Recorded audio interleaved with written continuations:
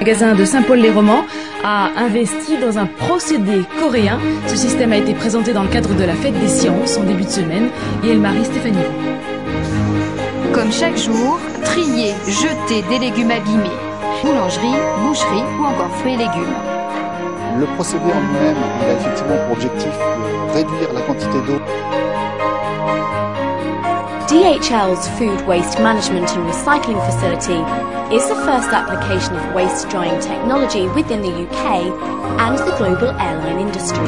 As both airlines and their passengers become increasingly concerned about their flight's carbon footprint, our innovative system brings both environmental and cost benefits.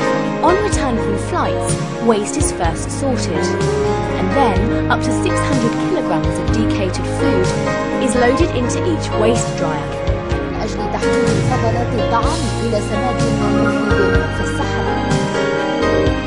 في مطعم موظف النجاح نادى في أبو ظبي عاصمة الإمارات توجد سلال مهملات تحمل على مواضعها خاصة بفضلات الطعام وعادة يتم نقل فضلات الطعام إلى مجمع النفايات ولكن الآن يوجد أسلوب جديد في الإمارات